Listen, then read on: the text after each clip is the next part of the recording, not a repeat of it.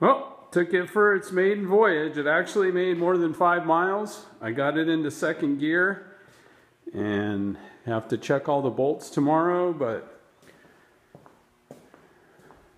it's all together.